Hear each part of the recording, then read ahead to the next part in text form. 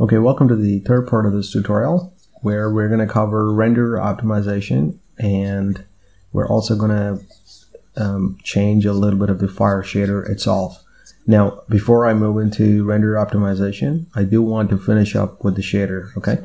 So this time I'm going to create a new layout because previously I had a lot of trouble with the existing shading layout. Okay, so I'm going to divide this pane into two I'm going to change this to properties. Nope, not properties. Shader editor. And then um, on here, I'm going to divide this up and down. Come on. Like that. And I'm going to leave this one and this one. Okay, so this one is going to be for render itself, viewport render. And this one is to check how it looks. And I'll tell you why. So if I now go to frame number 108, so I want to match what we see on um, viewport shading to the actual render itself, okay? So where do you see this here? I want to see that, all right? So for now, uh, for example, right now, you don't see that. You don't see this curved fire here, okay? So let's work on that straight away. So the magic really happens down here so if I change this to 0.4 and this from minus 0.1 to minus 0.08. There you go. You can see that. That's perfect. Okay. What I also want to change is I want to actually, this is the principled shader um, that's connected to the actual fire. Okay. So here, originally I said I didn't want to add any density but I want to add it now. So I'm going to add a 10 here. Like for example, if I add a 100, you'll see density show up here. Okay, so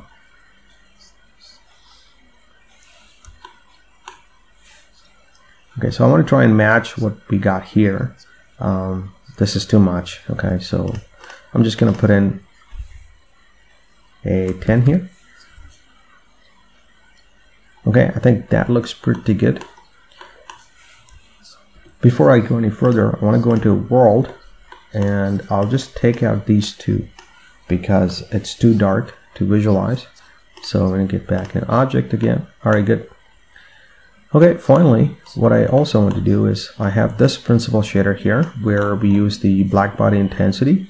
Um, so if I change this to 10, you see this show up here, okay? Um, so I'm going to put that back to 0.25 and I want to connect the density we created here into this density here okay so in effect what I'm doing is I'm using both this and this one because this one is technically not density this comes from temperature okay so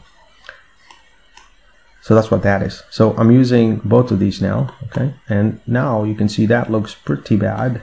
And that's because this factor is 40. I want to reduce it 10 times to 4. Now you can see that's a lot better. Okay, I think that looks pretty good now. Just going to get out of it and press 0 again. Let me adjust it so it fits the screen. Okay, good. So now what I'm going to do is I'm going to go ahead and do a little render, but uh, I want to show you something first. In preferences, by default, when you select GPU compute here, uh, this is what is selected. At least that's what I think is selected. CUDA and NVIDIA RTX 2080. Okay. Um, so I'm going to give it a shot as it is by default. I know it's going to take a while. Okay. So what I'm going to do is I'm going to stop the recording and I'm going to come back because recording takes a lot of resource and um, I know it has a significant impact on the render itself. Okay, all right. Okay, so it's currently rendering and you can see it's already past 13 minutes and 18 seconds and it says remaining is 28 minutes and 53 seconds and that's not very good. Um, the render looks okay, uh, you know, nice fire and all, but it's just taking way too long. So I'm going to kill this and the next render we're going to do is after optimization. But before we jump into optimization, I want to just change the color of the fire because that to me looks too reddish. Okay, so I'm going to choose slot 2 and disconnect it. And the way to change that, if I were to click that, okay, good. So here, where we got 888, I want to change that, all right? So what I'm going to do is I'm going to go ahead and plug in 12, 16, and 32.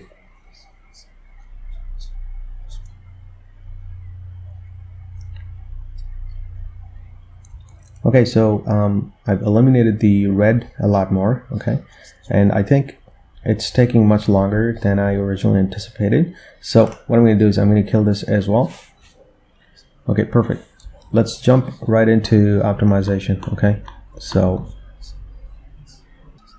okay, the first thing is going to edit preferences. As I said before, by default, I think this is what it is.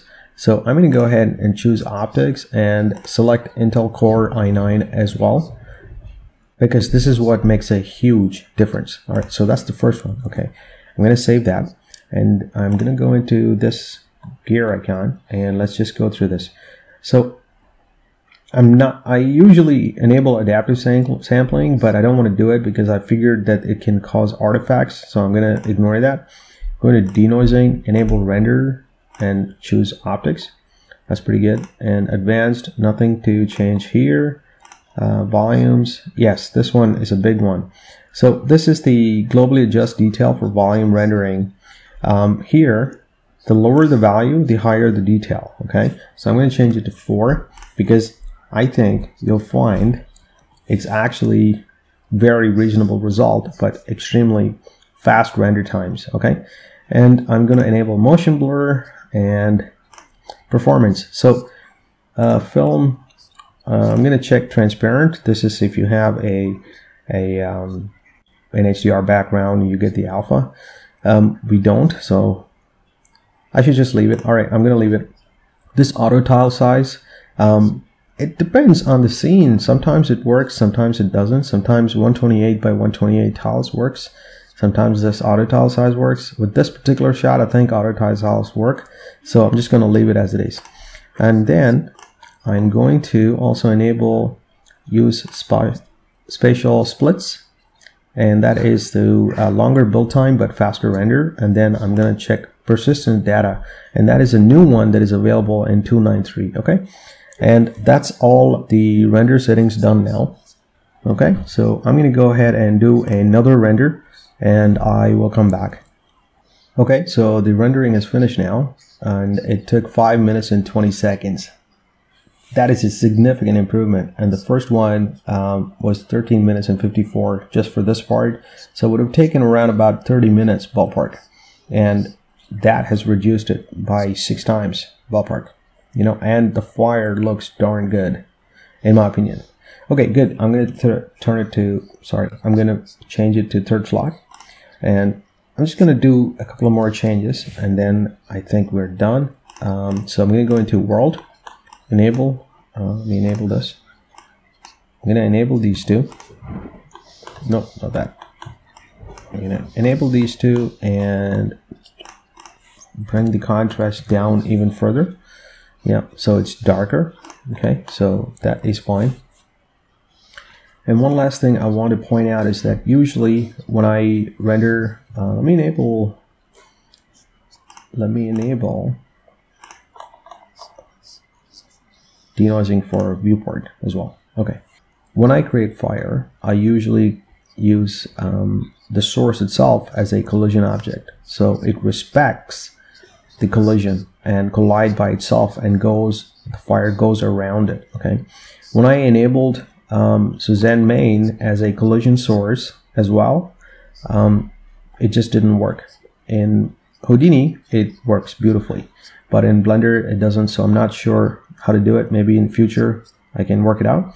But for now, what I'm going to do is I just don't like the way the fire goes inside of it. Okay, so I'm going to go ahead and just disable that and render uh, the fire without the Suzanne main. Okay.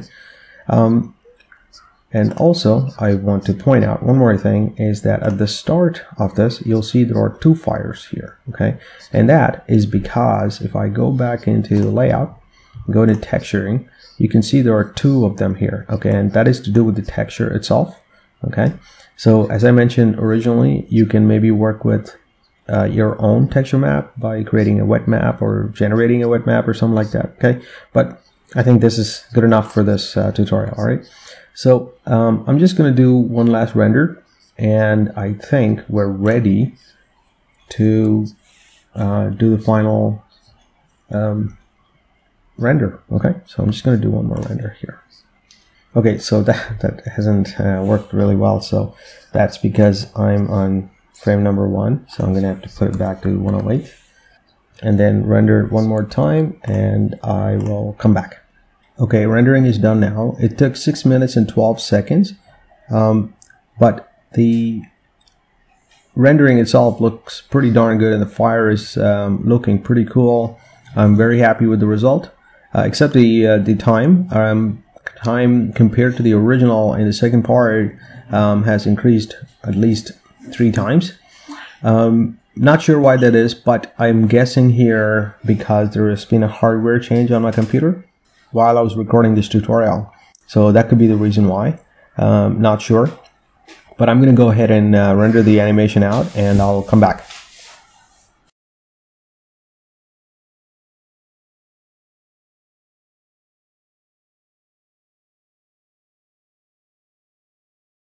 Okay, the rendering is now done. It took approximately four hours, but before I show you the render, I actually re-rendered the frame which rendered um, at a time of approximately six minutes.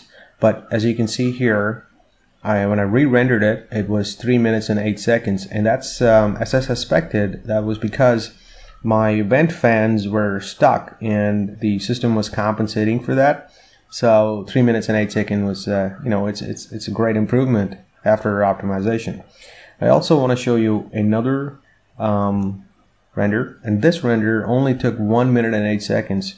The difference between slot 2 and slot 1 is that in slot 1 I disabled all the density and this is literally just the fire. And it seems like density, uh, when you enable density, it does take a while. So, you know, if you're happy with just the fire, uh, which may be a little bit transparent, you know, that's why I didn't like it. Um, if you are happy with just the fire, then, you know, your render time will be blazing fast. But uh, with density, it's, it's a little more, but 3 minutes and 8 seconds per frame isn't that much, and this is like one of the big frames. Um, so, alright, let me show you the actual um, animation.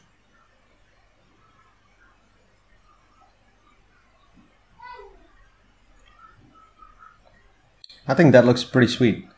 So, um, how the fire comes up here. It's just, it looks beautiful. And um, I think this is unexpected for me in uh, to get a result like this in Blender, but I'm very happy with it. And I hope you are too, and I hope you have learned something out of this. And if you did, um, please give me a like, thumbs up, share, comment, and uh, click on the bell icon for notifications. And uh, subscribe to my YouTube channel and other social links too. Thank you very much. Until next time. See you. Bye.